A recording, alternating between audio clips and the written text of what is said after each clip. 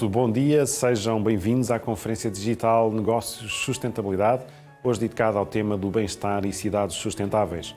Desenvolvimento sustentável é o grande desafio do nosso tempo e o Negócios abraçou esta causa, lançando uma grande iniciativa que arrancou com uma edição especial o lançamento de um site dedicado em maio. Em junho realizámos o primeiro deste ciclo de debates e lançámos o Prémio Nacional de Sustentabilidade, reunindo um júri de grande prestígio. Estão convidados a candidatarem-se. Podem fazê-lo em www.prémionacionalsustentabilidade.negócios.pt com esta iniciativa, que está projetada para a próxima década, coincidindo com a agenda das Nações Unidas, queremos deixar uma marca no caminho que também Portugal está obrigado a fazer num desenvolvimento económico alinhado com o progresso social e a sustentabilidade ambiental. Uma iniciativa que não seria possível sem o patrocínio dos nossos parceiros EDP e Millennium BCP, o alto patrocínio da Presidência da República e o apoio da Altri, Claranet, Jeep, Mel e SAP. Vamos falar de bem-estar e cidades sustentáveis, que é também uma das categorias do nosso prémio. Cerca de 55% da população vive em áreas urbanas e a projeção da ONU é que até 2050 essa percentagem cresça para 68%. As cidades consomem mais de dois terços de toda a energia produzida e são responsáveis por cerca de 75% das emissões de CO2. Só é possível combater e mitigar as alterações climáticas com mudanças estruturais no modo de funcionamento das cidades, seja na mobilidade, no consumo de energia, na melhoria do ambiente. A diminuição das desigualdades passa também, forçosamente, por cidades mais inclusivas. Temos abordados na conversa com o Presidente da Câmara Municipal de Lisboa, Fernando Medida, que vamos passar já a seguir. Temos também um debate com os nossos convidados, António Almeida Henriques, Vice-Presidente da Associação Nacional de Municípios, Miguel Eiras Antunes, Partner Smart City, Smart Nation e Local Government da Deloitte, Nuno Lacasta, Presidente da Agência Portuguesa do Ambiente, e Paulo Neves, responsável pela área de sustentabilidade do Millennium BCP. Antes do debate, teremos uma intervenção de Miguel Castro Neto, subdiretor da Nova Information Management School, que depois integrará o nosso painel. Obrigado a todos por juntarem a nós. Vamos agora passar a conversa com Fernando Medina, Presidente da Câmara Municipal de Lisboa, que, por motivos de agenda, teve de ser gravada previamente no dia de ontem.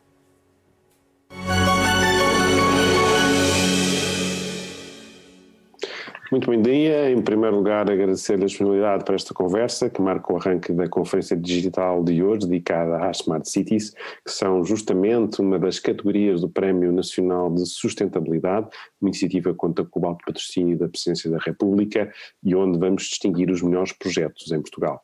Este tema das cidades espertas, como o Fernando eh, gosta de dizer, teve um impulso significativo nos últimos anos em Lisboa, de resto reconhecido com a eleição da cidade para a capital verde europeia 2020, mas há ainda um caminho grande a fazer e vamos justamente então falar sobre ele. Mesmo após o desconfinamento, o trânsito na cidade eh, parece continuar a ser bastante menor do que era antes da pandemia, assim como os níveis de ruído e de poluição. Pode-se dizer que é um vislumbre eh, do que pode ser uma cidade mais sustentável e com melhor qualidade de vida no futuro? Há pistas que a pandemia deixa para uma melhor gestão da cidade? Eu acho que se, se, se há lição eh, estrutural que a pandemia trouxe à vida das cidades, é que nós precisamos ter um futuro com eh, menos poluição, com melhor qualidade de vida, com um espaço público de, de melhor qualidade e uma cidade capaz de funcionar num ciclo mais curto eh, em que as pessoas tenham eh, menor necessidade de deslocação através de veículo individual para eh, satisfazer as suas necessidades do dia a dia. Eu começo, aliás, com um ponto muito importante que é a poluição. Hoje está demonstrado que uh, as zonas uh, que na primeira fase da pandemia foram mais duramente atingidas do ponto de vista da severidade da pandemia, isto é, dos seus efeitos na população, eram zonas precisamente onde havia níveis muito elevados de poluição, historicamente falando, isto é, onde eh, as próprias populações não tinham capacidade, a capacidade física de resistência não era a mesma que víamos noutras regiões. Vários estudos foram realizados relativamente à situação em Itália, relativamente à própria situação da China, as zonas industrializadas, um, concentrando elevados níveis de poluição, tinham este impacto. Hum. Há uma linha de, de, investigação que não, está, não tem o mesmo grau de, consistência, eh, mas que eh, levanta a hipótese de, eh, de, a poluição ser um elemento que eh, acelerou a difusão e a propagação da pandemia, eh, por eh, ter um efeito relativamente à forma como o vírus se propagava, se propagava no ar. E depois há duas outras ensinamentos. Primeiro, caso que as pessoas sentiram ter um espaço público de qualidade, quer durante o período de confinamento, quer mesmo agora, quer dizer, as pessoas sentem-se hoje muito mais confiantes, confortáveis ao ar livre, nas esplanadas, a circular, isso é uma coisa que, que no fundo nós já tínhamos essa consciência, mas creio que se torna eh, hoje muito evidente para os olhos, aos olhos, aos olhos todos. E depois há uma última lição que é a seguinte, nós eh, temos feito um esforço muito grande, os portugueses têm feito um esforço muito grande para protegerem-se, para protegerem no fundo a saúde de todos e a vida da, da comunidade. Nós conseguimos, eh, sem dúvida, evitar uh, um número de mortes muito significativo, que era aquele que teria resultado se nós não tivéssemos tido este comportamento. Um, agora, a questão é que nós temos anualmente no nosso país mais de 6 mil mortos associados a doenças respiratórias, com ligação uh, uh, à poluição atmosférica. Uh, isso é um número muito significativo é um número muito importante e não há nenhuma razão para nós que dedicamos tanta energia e bem relativamente à pandemia que temos, que não dediquemos também uma energia muito forte a evitar as mortes que podemos evitar e a evitar a perda de qualidade de vida que nós podemos eh, evitar se uh, agirmos e acelerarmos as políticas de sustentabilidade na cidade. Hum.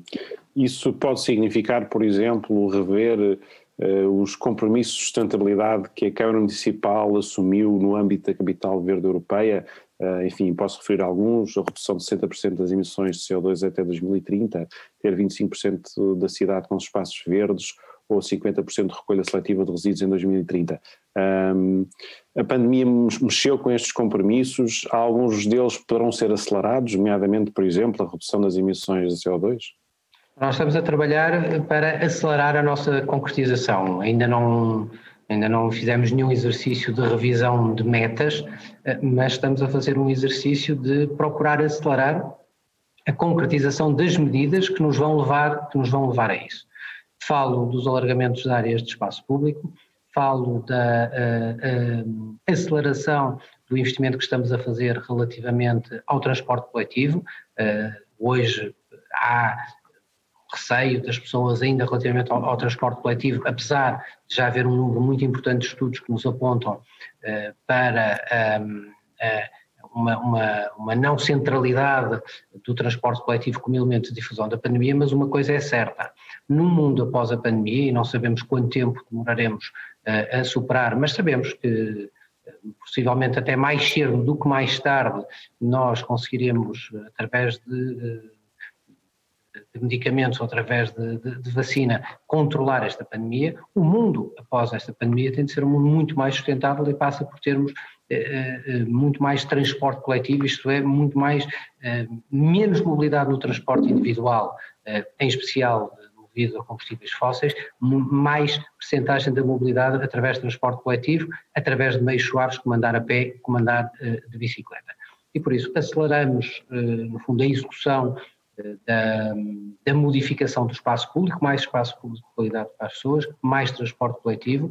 Uma decisão, aliás, muito importante, que uma, um, um facto muito importante que ocorreu nas últimas semanas, que é a, a conclusão, ou aproximarmos da conclusão do, do, do concurso relativamente à rede rodoviária de transporte coletivo na área metropolitana, que pela primeira vez será uma rede que operará como única marca, a Carris Metropolitana, terá mais 40% da oferta do que aquilo que tínhamos até agora e que terá uma fortíssima redução na, na, nas emissões do, dos veículos, na medida em que há uma, eh, uma redução muitíssimo significativa da idade média da frota que vai eh, operar. Nós estamos a falar de, de uma redução de, de, idades médias que em algumas zonas da área metropolitana ultrapassam uma década, podem se aproximar de uma década e meia, para uh, autocarros que podem ter idades médias de cerca de seis meses, ou até em algumas das zonas da área metropolitana que serão totalmente novos. Uh, isso significará muito mais transporte coletivo, significa mais uh, melhor ambiente, significa mais conforto para as pessoas uh, e, e volto a sublinhar, há, natural, há, algum, há receio hoje ainda das pessoas relativamente ao transporte coletivo, as empresas têm feito um esforço muito grande no sentido da da, da, higienização, no sentido uh, do cumprimento das normas, tentar assegurar condições de segurança, mas o ponto que eu queria sublinhar é que o futuro pós-pandemia na cidade passa por termos mais e melhor transporte coletivo. Isso é uma coisa que ainda. Esse é sem dúvida um contributo mas, mas não receia que os hábitos, eh, enfim, quando, como mencionou, houver uma vacina e as pessoas estiverem mais tranquilas, os hábitos que, que, que temos, eh, nomeadamente na mobilidade, vão voltar exatamente ao que eram antes da pandemia?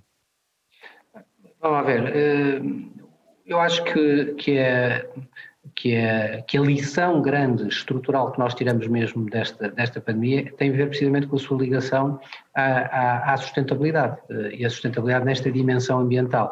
O risco que refere é um risco real, eh, os comportamentos, aliás, mesmo nesta fase já de desconfinamento, esses riscos existem do ponto de vista da, da, vida da vida cotidiana da vida cotidiana das pessoas, mas eu acho também que nos cabe a todos quer, quer na gestão da cidade, quer a, todo, a toda a comunidade e os líderes de toda a comunidade terem um discurso muito, muito claro sobre isto.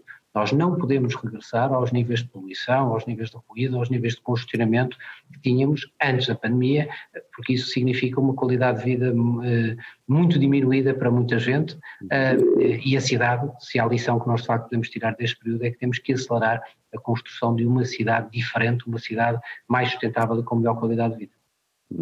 Medidas como são tomadas noutras cidades, do género taxar a entrada de carros no centro, é uma medida que faz ou não sentido em Lisboa, eh, neste contexto de aposta na sustentabilidade e de redução da poluição? As medidas de limitação da circulação automóvel na zona do centro da cidade uh, e em outras zonas onde haja elevados indicadores de poluição justificam-se. Nós, aliás, apresentamos um programa nessa, uh, precisamente nesse sentido, a zona zero, uh, que ficou que está apresentado, está já alvo de discussão, será depois alvo de melhorias. Refere-se a, a, retirar os carros da Baixa e do Chiado, é isso? Exatamente, a circulação, uh, limitar a circulação automóvel na Baixa e no Chiado. Uhum. Neste momento esse, esse esse projeto, eh, decidimos não avançar neste momento precisamente da pandemia e neste momento uhum. imediatamente a seguir de recuperação, temos uma cidade ainda muito perturbada com o comércio, com a restauração, com todo o sistema económico, com muita gente ainda em teletrabalho eh, e por isso quer dizer, não quisemos causar nenhuma mudança adicional numa vida de tanta gente que já tinha a sua vida tão alterada, mas este projeto existe, constará aliás no, no o futuro programa de, de, de, governo da cidade de Lisboa, é um projeto de, de grande, de grande importância. Como também é, um, por isso não, não, não iria especificamente... Portanto, esse projeto é, é para avançar. Uh, esse projeto será no seu tempo, no seu tempo. quando ultrapassarmos esta fase da Exato. pandemia. A avaliação que fizemos é que as pessoas hoje já têm uma vida muito perturbada e muito alterada, não é? por isso, se pudermos evitar causar elementos adicionais de transporte, uhum. nomeadamente nesta zona da Baixa, que é uma zona que tem a sua vida muito, muito alterada, mais até do que outras zonas da cidade de Lisboa, fizemos essa ponderação e, decidimos avançar quando imediatamente a seguir esta pandemia estar... Será no próximo mandato, portanto. resolvida. Sim, será no próximo mandato, aliás constará do programa eleitoral uh, para o próximo mandato, porque é de facto uma medida importante. Relativamente à taxação à entrada, eu creio que não é da cidade, é um debate que de, de forma recorrente aparece. Uhum. Uh, vão haver, grande parte das vias de acesso à cidade já hoje são taxadas, são portajadas, aliás. São poucas, aliás, aquelas que não são. Eu acho que a grande questão é... Antes, a, a grande questão é construirmos uma rede de transporte coletivo pesado uh, e rodoviário eficaz a nível da área metropolitana. Isto é, nós temos que arranjar alternativas para que as pessoas cheguem, circulem, cheguem a Lisboa e circulem dentro da área metropolitana e cheguem a Lisboa já através do transporte coletivo. E é por isso que nós, aliás, colocamos, e permitam-me entrar já neste, neste ponto, uhum. Eh, à cabeça da, da, da, da nossa proposta relativamente aos fundos de recuperação do Plano de Recuperação Europeu e do futuro quadro comunitário de apoio, a área metropolitana tem, desde, desde há uns meses, está a negociar com o Governo precisamente o conjunto dos investimentos em transporte coletivo pesado que permitam eh, eh, criar uma, uma oferta nos conselhos da área metropolitana e fundamentalmente na sua ligação à cidade de Lisboa. Eh, é desse exemplo a proposta que hoje que, é pública, da ligação do metro de superfície que ligará uh, Lisboa a Oeiras, uh, que depois encaixará na futura extensão do metropolitano de Lisboa da linha vermelha, cuja proposta que fazemos é da sua extensão uh, da zona onde está, da, de São Sebastião, em frente ao Corte Inglês, até às Amoreiras, Campo do Urique, Alcântara, onde depois entrará um metro de superfície que eh, entrará no Conselho de Oeiras, ligando, eh, fazendo no fundo o Alto da Ajuda, o Restelo, o Alto Restelo, eh, e depois eh, entrando para as zonas de Miraflores, Linda a Velha, Cruz Quebrada, ligando ao Elétrico 15. Isto vai permitir abranger quase mais 100 mil pessoas através de transporte coletivo pesado, de qualidade, em sítio próprio, pontual, a horas, confortável. Hum, e essa oferta vai ajudar a desincentivar o, o, o automóvel particular? Sem dúvida, sem dúvida. Teríamos uma alternativa que funcione com eficácia. Isto é, a 20 horas, confortável, de qualidade, é, acessível, porque situar-se á a poucas centenas de metros das grandes zonas residenciais, quer do lado de Lisboa, mas fundamentalmente do lado do Eiras, eh, será claramente uma alternativa muito, muito credível e muito eficaz ao transporte, ao transporte individual. Até porque essa linha de metro de superfície ligará a, a, ao metro, à linha do metro, à rede do metro de Lisboa, através da linha vermelha, depois a partir daí a toda a rede do metropolitano. E por isso, através do transporte coletivo, ganha-se um acesso a, a, muito fácil a toda a cidade de Lisboa, vindo a partir de hoje.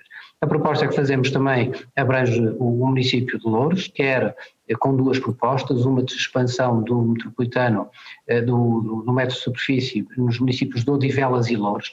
Eh, isso é muito importante, porque quanto mais pessoas ali forem servidas, menos pessoas entrarão de automóvel na cidade de Lisboa, e também a sul, relativamente a Louros, fazendo a extensão do, do, do metro de superfície, que no fundo ligará Santa Apolónia ao Parque das Nações e daí à Portela e a Sacavém, reentrando de novo uh, em Lisboa.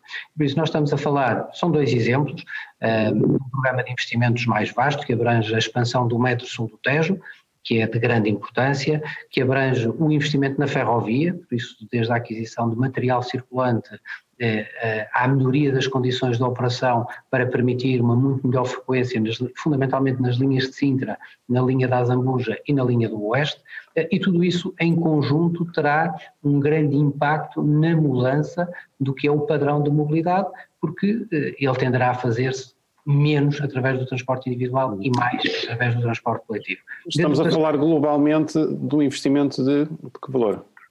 Ainda não está fechado o valor uhum. final com o Governo, os projetos finais com o Governo, mas é de facto um investimento muito significativo nestas, nestas múltiplas componentes e espero, aliás, dentro de próximas, das próximas semanas que eh, possamos eh, fazer este anúncio em conjunto com o Governo, que eh, já tinha destinado, antes da pandemia, uma parte eh, importante aliás, a pedido da área metropolitana de Lisboa, que nós enunciamos que a nossa prioridade fundamental em matéria de fundos era precisamente a questão de, do transporte coletivo uh, sustentável, uh, e essa, uh, esse valor acaba por ser também reforçado com este aumento que Portugal teve relativamente às dotações de fundos, e creio que é a melhor resposta que pode haver coletivamente a esta situação da pandemia, é fazermos os investimentos que são os investimentos necessários à sustentabilidade futura. Não sei se ia referir mais alguma medida enquadrada no plano de recuperação e resiliência. Eu ia referir só uma que era o seguinte, é que este investimento que fazemos na área, na, na, na mobilidade pesada da área metropolitana, que se cruza com aquilo que há pouco referi de, do transporte rodoviário, é? mais capilar, mais fino também na área metropolitana, é depois complementado em Lisboa, quer com a expansão do metropolitano, naturalmente, também da Carris, mas com uma outra uh, aposta que é a rede de ciclovias e a rede uh, de espaço público de qualidade. Porque aquilo que nós sabemos, e da expansão do sistema das bicicletas partilhadas, agir, porque o que nós hoje já sabemos é que as ciclovias, as bicicletas partilhadas, uh, o andar a pé são, eh, quando realizadas e quando feitos em condições de segurança, as pessoas verdadeiramente eh, utilizam como meio de mobilidade. Uma, uma experiência muito, muito importante que temos tido na cidade nos últimos anos foi a criação do sistema de ciclovias no, na zona da, da Avenida da República, em que hoje é claro para toda a gente uh, uh, o número muito significativo de pessoas que as utilizam diariamente e quando analisamos a utilização do sistema de bicicletas partilhadas, e falo antes da pandemia, por isso numa situação normal de emprego, cerca de 70% da utilização das bicicletas partilhadas em Lisboa são feitas em hora de ponta. Isto é, são utilizadas para... Uh, do, exatamente, do trabalho, uh, às instituições de ensino superior, quer dizer, no fundo, e são utilizadas muito nos interfaces do transporte, por exemplo, comboio para para os postos de trabalho, para as universidades, e por isso funcionam. A grande lição de tudo isto é que estes sistemas, quando estão ao dispor das pessoas e são feitos com, eh, em segurança e propiciam essas condições de segurança, as pessoas aderem a estes sistemas. E significa que este ano e no próximo vamos ter mais investimentos em espaços verdes e em ciclovias? Ah, sem dúvida. Além das obras, nós temos importantes obras em curso relativamente à área de espaço público, relativamente à área de espaço verde, isso vê-se por toda a cidade. Temos um grande projeto que está numa fase já muito adiantada uh, e, e, espera conclusão relativamente, uh, relativamente ao início do próximo ano, que é o projeto da Praça de Espanha. Para quem já lá passou, pode ver uma transformação profundíssima com a retirada de de muitos milhares de metros quadrados de, de alcatrão para a substituição por um grande parque verde, por uma estrutura de muito maior fruição, pela integração de um sistema de ciclovias, pelo alargamento dessa rede de ciclovias, pela, pelo alargamento da, das zonas pedonais para uma circulação pedonal, eh, e, e, esse é um exemplo de muitos outros que estão a acontecer pela cidade, aqui também mesmo na frente ribeirinha, eh, toda à frente da, da, Estação Sul e Sueste, a recuperação e a finalização da obra eh, ainda do Terreiro do Passo, toda a ligação dessa, da Doca da Marinha, que era uma zona que estava fechada ao público desde a década, creio que desde a década de 40, desde o final da década de 30, desde a década de 40, eh, e que no fundo vai ficar aberta com um grande espaço público de qualidade que as pessoas vão poder utilizar, como a ciclovia, que no fundo se ligará também com este grande conjunto e esta rede de ciclovias que está a ser construída por toda a cidade, eh, uma rede que começou fundo com ciclovias em espaços verdes e ciclovias de lazer, mas que se está a transformar numa verdadeira rede de mobilidade. O que nós queremos é que as pessoas hoje possam ir cada vez mais eh, fazer as suas ligações, trabalho-casa, eh, trabalho eh, escola, ensino de formação, acesso à cultura, ao lazer, ao comércio, através de uma rede de ciclovias que possa organizar e onde as pessoas possam mover com, com segurança. Nosso tempo está a terminar, queria só fazer duas questões muito rápidas. Uma é, um, eh, neste enquadramento de sustentabilidade, necessidade de diminuir a, poluição, os níveis de poluição na cidade, a prazo uh, faz sentido que o aeroporto Humberto Delgado saia de, de perto do centro? A ver, é, é muito claro que o nós não poderemos, nós não poderemos uh, no futuro da pós, pós-pandemia, nós não podemos voltar a ter os níveis de poluição e ruídos gerados pelo aeroporto que tínhamos antes da pandemia. Isso é algo que é muito claro. Como é que se diminui esses níveis? Vamos ver, nós temos aqui uh, uma, uma janela é, de tempo que se abriu uh, para corrigir uma situação que vinha a penalizar muito a cidade de Lisboa e os municípios da cidade de Lisboa. É porque a questão com o aeroporto de Lisboa é que o aeroporto passou uh, de um volume inferior a 20 milhões de passageiros em 2015 para um valor que ultrapassava os 32 milhões de passageiros em uh, eh, 2019. Por isso nós estamos a falar de um aumento de 50% é? num espaço de tempo muito curto. É evidente, as projeções agora apontam para que isto tenhamos uma recuperação mais eh, gradual, mais lenta. E é é essencial que nós aproveitemos este tempo para eh, se tomarem as medidas, nomeadamente relativamente à construção de eh, uma nova capacidade aeroportuária, o mais rápido possível. E não podemos perder mais tempo nisso. Seria, aliás, um erro achar que, bom, agora como há menos procura não vamos ter este problema. Não vamos ter este problema porque este problema está diagnosticado desde, desde há cerca de 50 anos, quando ainda no tempo de, de, de Marcelo Caetano se criou pela primeira vez o grupo de trabalho para estudar o novo aeroporto de Lisboa. E por isso eh, é o tempo de, de, de, dessa, desse investimento avançar. Há ainda aspectos a discutir, eh, a forma, as características, eh, algumas das características técnicas relativamente, relativamente à solução, relativamente à solução de Montijo. Importante é que não se abrande e não pare esta opção de investimento, porque Lisboa não poderá voltar a ter os níveis de poluição e de ruído tinha antes da pandemia. Isso, aliás, é algo que é consensual entre todas as forças políticas no município de Lisboa.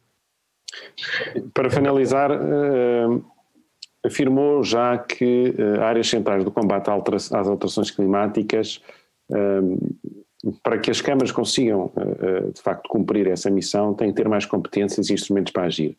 Lisboa já conquistou competências acrescidas na mobilidade, no transporte coletivo. Que outros instrumentos e competências é que as cidades têm que ter para ir de encontro a, este, a esta missão?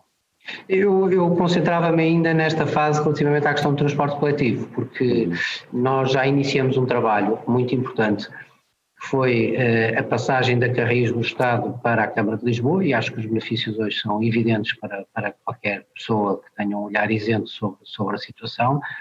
Está neste momento a ser concretizada a criação da empresa Transportes Metropolitanos de Lisboa, por isso é a empresa que vai uh, poder representar e operar a área metropolitana de Lisboa, esta, esta, a, nível metropolitano já fizemos o concurso relativamente ao transporte rodoviário uh, e por isso no próximo ano entrará em funcionamento a Carris Metropolitana que vai unificar dentro de um sistema, uma marca, um transporte coletivo rodoviário com muito mais oferta e mais qualidade em toda a área metropolitana. Agora precisamos deste pacote de investimentos que estamos neste momento a negociar e depois sobra uma parte final deste processo, que é a passagem para a área metropolitana da, das competências em matéria de autoridade de transportes, de gestão uh, das companhias uh, que operam na área do transporte de âmbito metropolitano. Falo de, do que é o transporte de, de barcos uh, sobre o Tejo, Uh, falo relativamente à questão do metropolitano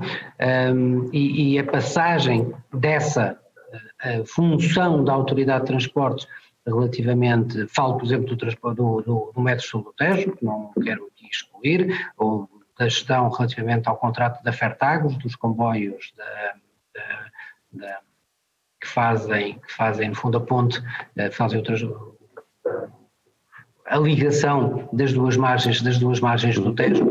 Esta última parte, que é uma parte que falta fazer, que é uma vez constituída a empresa, uma vez fechado o pacote de investimentos e começando toda a gente a trabalhar nos projetos, queremos fazer esta passagem para que fique completo, que quem detém o comando relativamente às operações e às opções fundamentais ao nível de todo o sistema, do ponto de vista coordenado, é a área metropolitana. Eu só terminava só com um ponto, porque eh, esta finalização, isto fecha, no fundo, um trabalho que foi iniciado no início deste mandato autárquico, que teve no passo único, não é, no navegante, naquela na importantíssima decisão que foi eh, a redução tarifária, mas acima de tudo a unificação do sistema de bilhética uh, e, uh, e, de informação num só título, que era uma coisa que a área metropolitana ambicionava há décadas e que nunca tínhamos conseguido, eh, eh, conseguiremos então fechar no fundo um ciclo eh, de uma reforma importantíssima, absolutamente estrutural,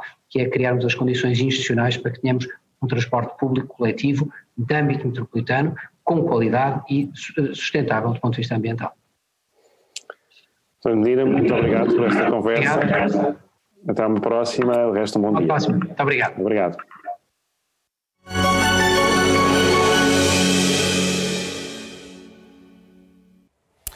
Vamos agora ouvir Miguel Castro Neto, eh, subdiretor da Nova Information Management School, nos vai fazer uma breve introdução e enquadramento do tema da nossa conferência digital e depois se juntará connosco ao debate. Miguel. Muito obrigado, André, pelo convite para estar aqui uh, convosco a fazer esta reflexão uh, com um grupo de especialistas na temática uh, do bem-estar e cidades sustentáveis. Como já foi aqui referido, nós uh, sabemos que as cidades são, por um lado, uh, um espaço de oportunidades. De oportunidades porque é nas cidades que nós geramos riqueza, é nas cidades que partilhamos conhecimento, é nas cidades que temos polos de criatividade e neste reduzido espaço físico, que representa apenas 2% da superfície do nosso planeta, vivem atualmente 50% da população mundial. E é este enorme potencial que, ao mesmo tempo, também coloca imensos desafios. Desafios que são de grande dimensão e que são hoje questões urgentes de serem endereçadas pelas políticas públicas que são desenhadas e pela ação de cada um de nós individualmente para responder a esta emergência. Nós sabemos que a população mundial em 2050 estima-se que rondará os 70%. Estas cidades hoje já produzem 50% dos resíduos globais, consomem 75% da energia e emitem praticamente 80% dos gases com efeitos de estufa. E, portanto, nós temos aqui um imenso desafio nas cidades para garantir o bem-estar, a dita qualidade de vida de quem vive, visita ou trabalha numa cidade ou numa vila, através de uma gestão eficiente de serviços e de infraestruturas, mas ao mesmo tempo tomar medidas ativas para responder a esta emergência climática. Este, esta, este desafio é de tal dimensão que a Comissão Europeia, no seu Horizonte Europa, estabeleceu uma missão que é a emissão das cidades uh, uh, com impacto neutro climático, uh, em que estabelece como objetivo, neste quadro, até 2030, garantir que 100 cidades são neutras climaticamente. e, portanto, é um desafio que extravasa o espaço nacional, é um desafio global que nós temos que endereçar.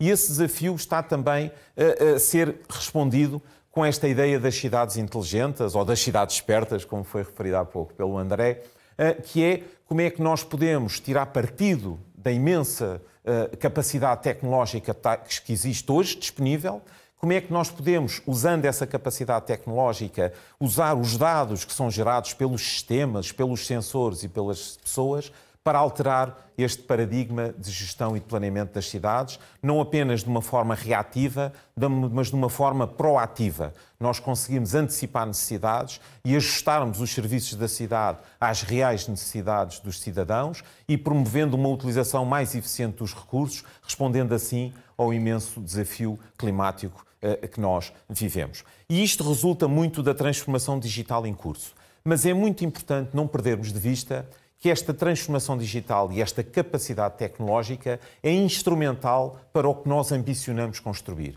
São cidades inteligentes, mas mais do que inteligentes, têm que ser cidades sustentáveis. E isso leva-nos aos Objetivos de Desenvolvimento Sustentável das Nações Unidas, onde nós encontramos o objetivo número 11, Cidades e Comunidades Sustentáveis, que endereça precisamente o desafio que nós temos pela frente. Em termos de cidades sustentáveis, mas a esta dimensão da sustentabilidade, as Nações Unidas associam três outras dimensões.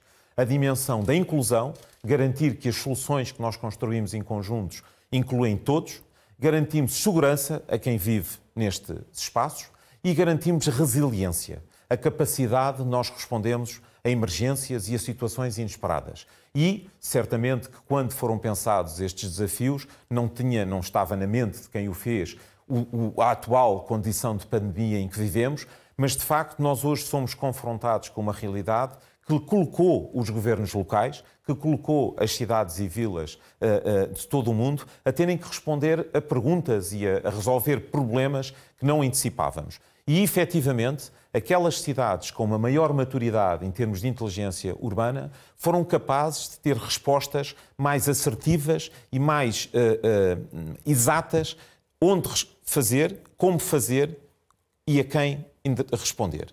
E essa capacidade decorrente destas cidades mais inteligentes foi, de facto, um fator crítico de sucesso, tanto mais que foram os governos locais, foram os autarcas que estiveram na linha da frente deste, deste combate. E esta, esta confluência do que é a construção da inteligência urbana e esta necessidade de responder a fenómenos extremos, de facto, leva-nos a reponderar o mundo em que vivemos, e se efetivamente nós temos que responder à emergência climática, a pandemia levou-nos a olhar para cidades vazias. Nós fomos confinados e com este confinamento, subitamente, nós deparámos com cidades que não tinham automóveis, que o, o ruído se reduziu substancialmente, a qualidade do ar melhorou e percebemos que, de facto, uh, nós próprios viveríamos muito melhor nestes espaços uh, uh, urbanos se objetivamente dermos este enorme passo, que é construir cidades mais sustentáveis e promover a dita descarbonização que todos ambicionamos. Entre as múltiplas dimensões desta, desta, deste fenómeno da pandemia, com todos os problemas que ele uh, que acarreta, houve aqui também algumas surpresas. Uma delas foi as pessoas começaram a andar mais a pé, começaram a usar ainda mais a bicicleta do que já tinham vindo a fazer até à data. E esta, este desafio da mobilidade é, eventualmente, uma das principais dimensões de, de, que nós temos que endereçar na construção destas cidades mais inteligentes uh, e cidades mais sustentáveis. E eu não posso deixar de partilhar o que está a acontecer hoje à escala global, que é uma tendência para favorecer a utilização do espaço público pelos cidadãos, para promover a utilização do, dos modos suaves, andarmos a pé, andarmos de bicicleta para chegarmos aos nossos destinos, com inúmeras cidades no mundo inteiro a fazerem investimentos muito significativos em infraestrutura que permita melhorar efetivamente a sua utilização pelo cidadão. Ah, e hoje fala-se em algo ah, que eu posso estabelecer assim o caminho ah, que nós temos pela frente, que é um conceito da cidade dos 15 minutos. O que é que é isto da cidade dos 15 minutos? É um sonho em que eu tenho uma cidade em que eu, a 15 minutos, a pé ou de bicicleta, eu consiga alcançar os serviços que são relevantes para o meu cotidiano. E esses serviços que são relevantes para o meu cotidiano será desde o trabalhar, o, o aprender, o, o, o, ter acesso a, a, a, um restaurante, a um cinema, à cultura, e tudo isso é feito num espaço em que eu posso caminhar ou posso ir de bicicleta. Este conceito da cidade de 15 minutos já foi uh, uh, objeto de, de, de, estratégias e de investimentos em, em, pontos tão distantes como Melbourne, Otávia, uh, Detroit e, mais recentemente, este esquema que eu mostro é o de Paris, que tem feito muito este caminho de construir as cidades mais inteligentes e sustentáveis, tentando promover esta mudança de paradigma em que nós devolvemos a cidade e o espaço público às pessoas. E essa, este processo de, de, de transformação é um processo de médio e longo prazo porque implica mudanças estruturais. Nós temos que pensar o planeamento e o desenho das cidades de forma a criar as condições favoráveis para que seja possível ter esta cidade dos 15 minutos. Portanto, temos que promover um aumento do espaço público, temos que apostar em infraestruturas verdes, temos que encontrar formas de dedicar mais espaço público para o convívio uh, das pessoas e isto é algo que tem que ser feito de forma continuada e numa perspectiva de médio longo prazo.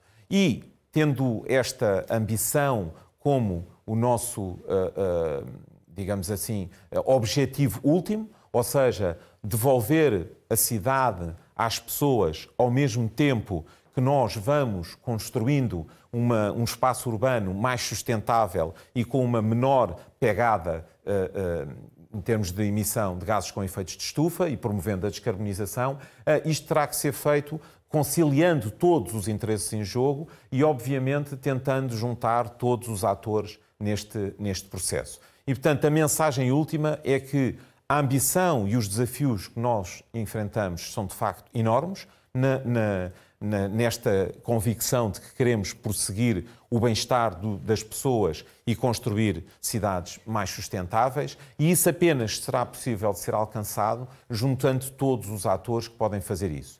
Porque uma coisa é certa: as soluções do passado não respondem aos desafios que nós temos hoje e nem asseguram o nosso futuro comum. E é este o desafio que nós temos, e eu estou certo que os nossos convidados para o painel que agora se irá iniciar eh, terão muito a dizer sobre esta construção coletiva de um melhor futuro comum nas cidades em que vivemos. Muito obrigado. Prémio Nacional de Sustentabilidade, vamos reconhecer, divulgar e premiar as melhores políticas e práticas na defesa da sustentabilidade global. Este é um convite e um desafio às empresas e organizações que mais destacam na construção de um futuro sustentável. Prémio Nacional de Sustentabilidade, uma iniciativa do Jornal de Negócios em parceria com a Deloitte e com o alto patrocínio da Presidência da República. Saiba mais e participe em prémionacionalsustentabilidade.negócios.pt. Miguel, muito obrigado pela, por este enquadramento uh, e pelo desafio de facto que as cidades uh, enfrentam para responder a estes objetivos de desenvolvimento sustentável. E justamente para uh, debater este tema, vamos ter os oradores que se juntam agora a, a, nós por videochamada. António Almeida Henriques, vice-presidente da Associação Nacional de Municípios Portugueses. Nuno Lacasta, presidente da Agência Portuguesa do Ambiente, que ainda não está presente, vai se juntar a nós mais tarde. E Miguel Eiras Antunes, partner da Deloitte. Paulo Neves, responsável pela área de sustentabilidade do Millennium BCP. Obrigado a todos por aceitarem o convite para estar aqui conosco hoje. Uh, António Almeida Henriques, começava por si uh, e por, uh, se calhar, lhe pedir que nos fizesse um bocadinho uma descrição de qual é que é o estado da arte em Portugal das cidades sustentáveis. Antes de mais, boa tarde a todos e muito obrigado pelo, pelo convite, cumprimentar o, todos os colegas presentes no, no, no painel e, e, dizer que ouvi com atenção aquilo que o Fernando Medina nos trazia, o enquadramento do, do Miguel Castro Neto, que aproveito também para cumprimentar, e, e desde logo partir de um princípio, é que o país é assimétrico.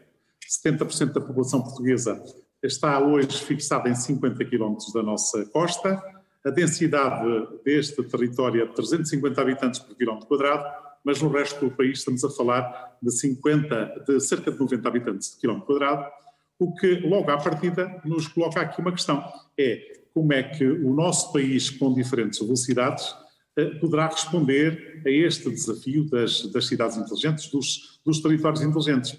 Desde logo, um indicador positivo é que nestes últimos cinco anos, de facto, demos aqui um grande, um grande salto, juntando primeiro os territórios, depois o sistema científico-tecnológico e depois também as empresas, e digamos que este triângulo virtuoso tem feito um bom percurso e, e diria que eh, Portugal hoje, ao nível das cidades médias, não fica a dever nada eh, àquilo que é o desenvolvimento em termos mundiais. Agora, temos que partir de diferentes realidades. Eu ouvia o meu colega Fernando Medina a falar de um conjunto de problemas e estava eu a pensar. Eh, o problema, por exemplo, da mobilidade que se coloca a Viseu, o território onde eu estou, e que, que giro este território enquanto Presidente da Câmara, é que é um território com 507 km quadrados, com diferentes realidades, e para mim, por exemplo, um dos grandes desafios da mobilidade neste momento, para além de se ter criado uma mobilidade urbana, uma mobilidade interurbana que liga às 25 freguesias do, do Conselho é, sobretudo, como é que vamos ligar as pessoas da baixa densidade. E, por exemplo, uma das grandes desafios que temos neste momento no MUV, na mobilidade urbana de Viseu,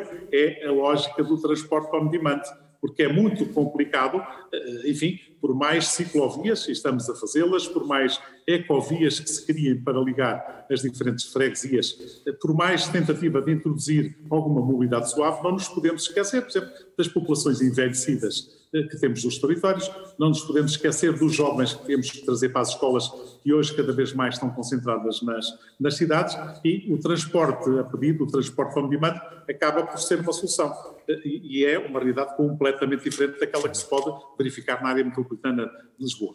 É Mas se falamos ter deste... estratégias adaptadas a cada realidade. Acredita Exatamente. que este conceito das cidades sustentáveis é também um caminho para uh, vencermos este desafio da, de coesão territorial? Como é que este conceito pode ajudar a resolver esse problema? Eu, eu, acho que a inteligência urbana terá que ser um dos principais instrumentos para vencermos exatamente estas desigualdades gritantes que o país tem.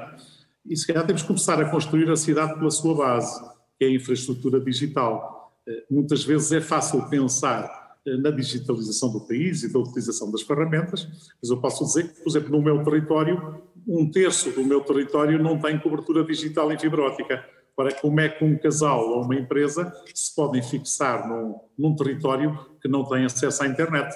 E quando falamos em 5G no país, e sabemos que nem todo o território vai ser contemplado, ainda existem faixas dos nossos territórios que nem cobertura 3G têm. Portanto, este eu acho que conforme a seguir ao 25 de Abril se levou a eletricidade à casa das pessoas, é fundamental que num curto espaço de tempo se consiga esbater aquela que é a principal assimetria, do país, que é eh, proporcionar igualdade de oportunidades a todos os cidadãos no que diz respeito à acessibilidade digital.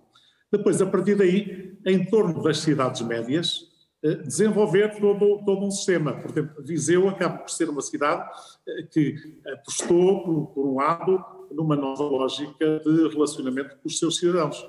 Os, os cidadãos mudaram hoje a relação eh, dos presidentes de Câmara, dos gestores do território, como eu gosto de nos chamar, os cidadãos é diferente, os cidadãos estão mais exigentes, querem ter no online a informação total, querem ter transparência na forma como, como os, os destinos do município são geridos e, portanto, querem ter o acesso a tudo aquilo, desde o urbanismo, eh, a uma licença eh, das mais simples, querem ter isso de resposta rápida. Por outro lado, também já não querem uma gestão de cima para baixo querem participar na gestão da cidade, querem saber em cada momento que opções é que estão a ser tomadas e ser parte ativa. Daí a importância, por exemplo, dos orçamentos participativos, daí a importância das consultas permanentes, daí a importância de partilhar os dados com os cidadãos para eles estarem mais informados e participarem de uma forma mais direta na, na construção da, da urba. Mas, mas, obviamente, ao mesmo tempo que temos este tipo de preocupações, eh, se territórios como estes, que são territórios que não têm problemas eh, por si só, eh, enfim, a qualidade do ar em Viseu é incomensuravelmente maior, melhor do que na generalidade do território. E, portanto, uma das nossas qualidades de vida aqui na cidade de Jardim é que, efetivamente, ela tem um bom ambiente. Os tais 10 minutos de deslocação estão ao alcance da generalidade dos nossos habitantes. Há opções que se fizeram ao longo destes últimos anos de, se, de transformar a qualidade de vida, a melhor cidade para viver, como um fator de atração de pessoas e como um fator também de fixação de pessoas. E, e a fixação das pessoas, como o Miguel Castro Neto muitas vezes me ouve dizer nos vários sítios, eh, tem a ver com muitos fatores. Tem, eh, desde logo, na sua base, um bom sistema educativo. Ninguém se fixa num sítio onde não tenha um bom sistema educativo, desde o pré-escolar até o ensino superior. E hoje, enfim, temos a felicidade de nos situarmos nos três primeiros lugares a nível nacional no domínio educativo. Depois há a, vertente cultural. Hoje a cultura é também uma das componentes basilares da qualidade de vida. Portanto, apostar num, num, ecossistema onde a cultura tenha um lugar uh, uh, central, e inclusive nas escolas. Depois a componente da atividade física. Juntando este, este tripé, digamos assim, não podemos esquecer depois também a vertente social. Nós temos uma população envelhecida, eh, temos eh, alguns problemas de despovoamento e até de desertificação do território, é preciso responder a eles. E, e, quando estamos a pensar neste ecossistema, não nos podemos limitar a pensar numa grande cidade como Lisboa. Temos que pensar nas pequenas cidades, mas também nas microcidades, que acabam por ter um papel muito importante para evitar o despovoamento. E, portanto, eu, eu, diria que hoje uh, uh, esta questão das cidades inteligentes é central para combater as assimetrias do país, porque não é só nestas lógicas, não é só na lógica da mobilidade, não é só na lógica da relação com os cidadãos, mas, por exemplo, na área da eficiência energética, uh, na diminuição do, do, do, da própria fatura energética, é também na produção energética. Por exemplo, só nestes últimos seis anos, Viseu captou uma central de biomassa captou dois, dois polos de, de energia eh, eólica e uma mini hídrica, o que significa que nós, do ponto de vista da produção energética, estamos a aproximar já de um padrão de autossustentabilidade, de produzirmos tanta energia limpa quanto aquela que consumimos no, no, no Conselho. Exemplo, António, já vamos e, e empreendemos... Eh, a esses, a esses temas também mais à frente. Eu queria agora uh, uh, só então uh, passar também aqui a palavra ao Miguel Eiras Antunes, partner da Deloitte. E eu fazia a mesma pergunta. Um, Miguel, qual é o, o, o, estado da arte das cidades sustentáveis em Portugal e, se calhar, como é que Portugal compara com outros países? Eu diria que o estado da arte das cidades sustentáveis em Portugal. tem que ligar o microfone, não estamos a ouvi-lo. Tá, ele está ele tá ligado. Ele está ligado. Okay, agora sim. Conseguem me ouvir ou não? Bem. Agora então sim. vai. Eu, também, eu, eu, falo, eu falo mais alto. Eu falo mais alto. Obrigado. Eu, eu diria que estamos a evoluir de forma, de forma positiva, agora naturalmente com um longo percurso ainda, ainda, ainda a percorrer, não é? Vamos lá ver, uma cidade, uma cidade inteligente e sustentável, que conforme dizem as definições, é uma cidade que, que usa tecnologia e inovação para melhorar a qualidade de vida, aumentar o valor económico, uh, aumentar uh, o tema da sustentabilidade, que é cada vez mais importante, a sustentabilidade ambiental, chamemos assim, e por outro lado a, a, a resiliência. Para que uma cidade, seja que seja, evolua neste caminho, eu diria que tem que fazer aqui alguns passos, e muitos deles já foram feitos. Já agora, só, só partilhando, ainda, ainda antes de dizer a, a, a minha visão sobre os passos que devem ser feitos, partilhar um pouco, eu fui agora a parte integrante do. Não, não, não interessa a que, a que, título, mas fui, estive agora envolvido no iCapital Awards. E o iCapital Awards, no fundo, é, é os prémios de inovação europeus de cidades, a iniciativa da União Europeia, que as cidades da Europa se podem candidatar.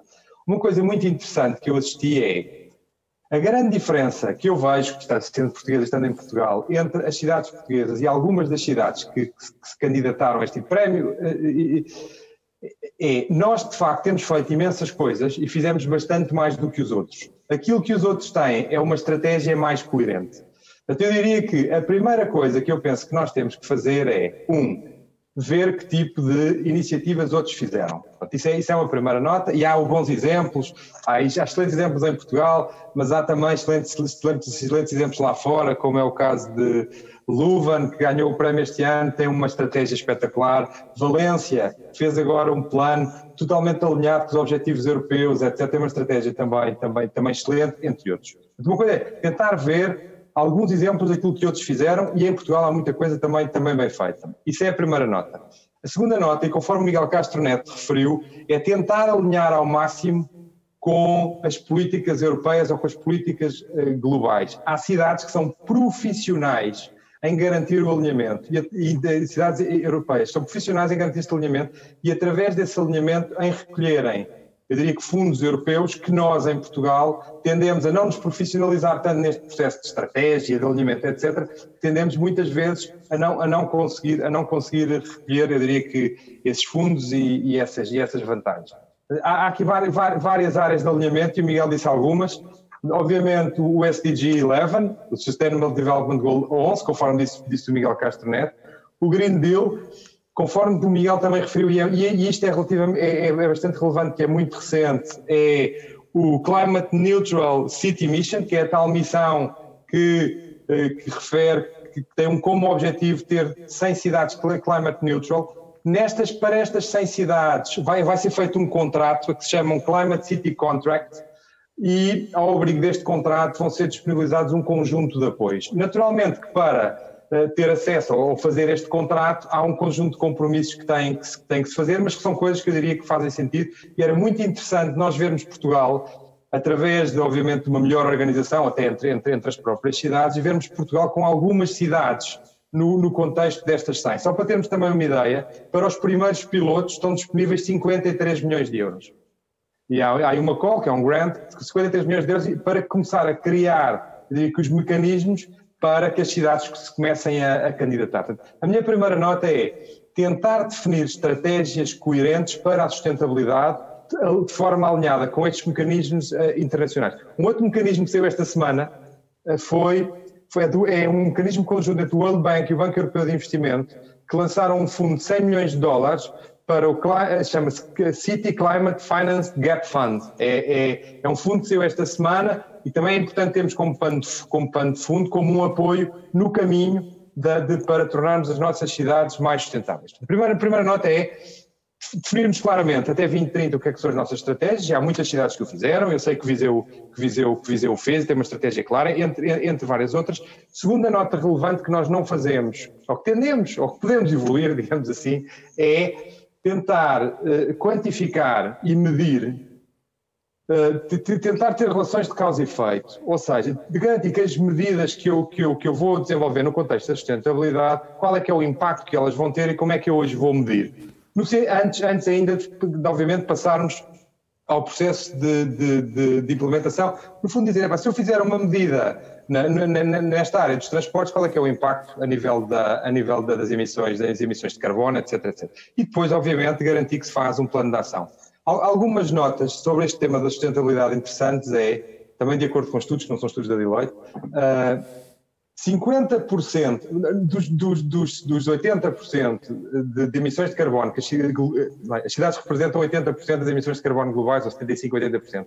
90% nós conseguimos cortar através da utilização de melhor tecnologia, inovação, etc. Destes 90%, 50% é em edifícios.